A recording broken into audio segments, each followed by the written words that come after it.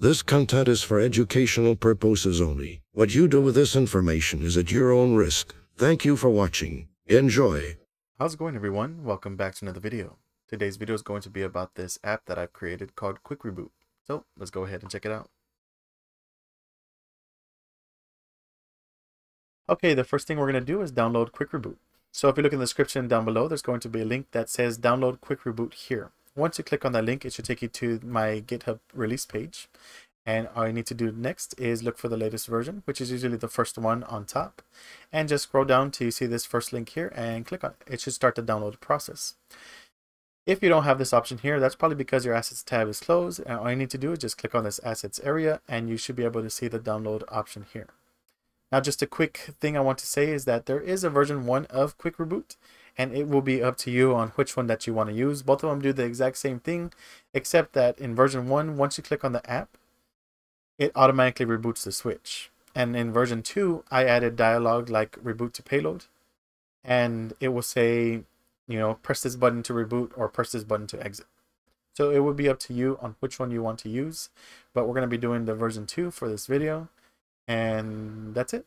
Now that we have it downloaded, we can have it moved to the desktop and have it ready for file transfer. Okay, now we can go ahead and open up our SD card. And it doesn't matter how you open up your SD card as long as you're able to transfer your files successfully.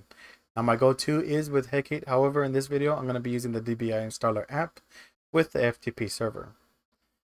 So with DBI, I'm going to scroll down to where it says run FTP server. Now that my switch is ready to connect with Wi-Fi, I'm going to do the same thing with my PC.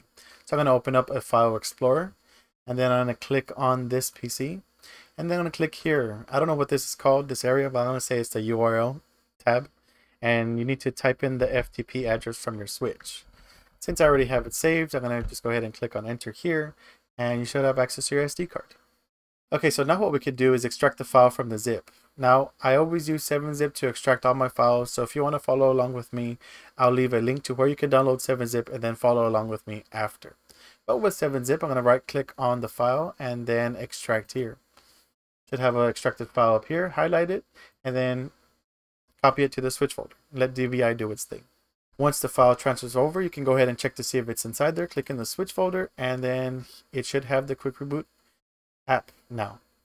So we can go ahead and click on one back. And for those of y'all that are Mariko users with the latest version of the chips that you have, we are done here. The, with your SD card, you can now exit out of wherever you're at and go ahead and try out Quick Reboot for yourselves and see if it works out for you.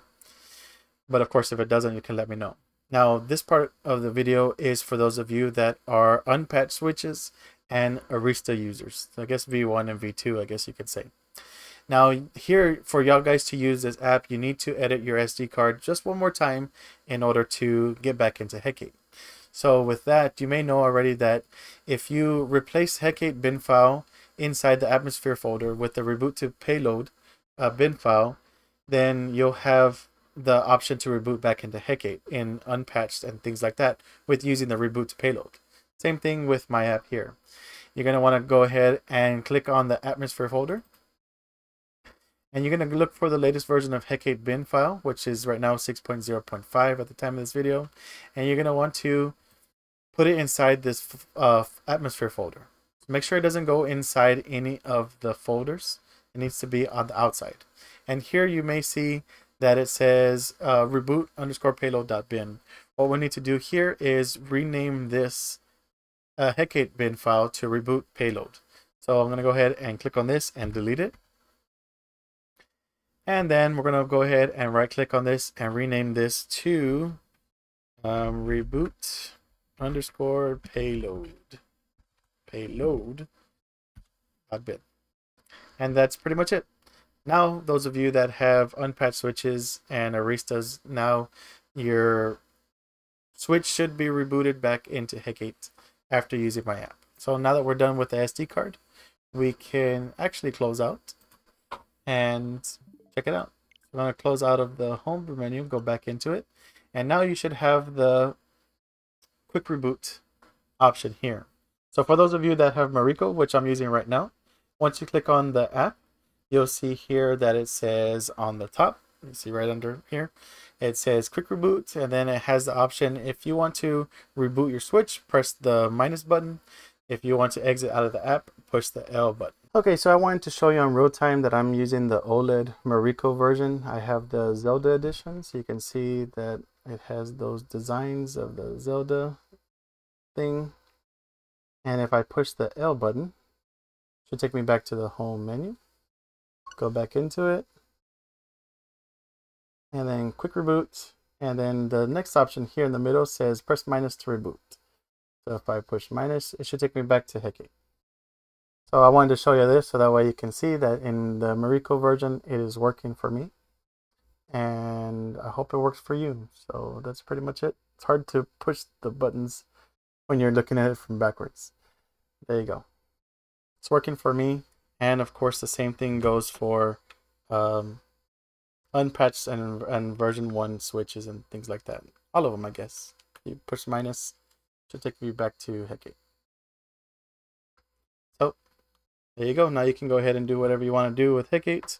But I just wanted to show you this app. I thought it was pretty cool because I did not want to be uh, pressing the home, I mean the power button all the time to re restart or power off. I didn't like doing that. Um, I know that was a thing back in the day where the power button messed up and you had to replace it after so much use and things like that. I don't know if that's uh, still going on now but I didn't want to be messing with this button here. So I made this app for Mariko users, but it just so happens that it works for all the switches as far as I know. So of course, if you want to try it out and it doesn't work for you, let me know and I'll see if there's anything that I could change. I am still learning.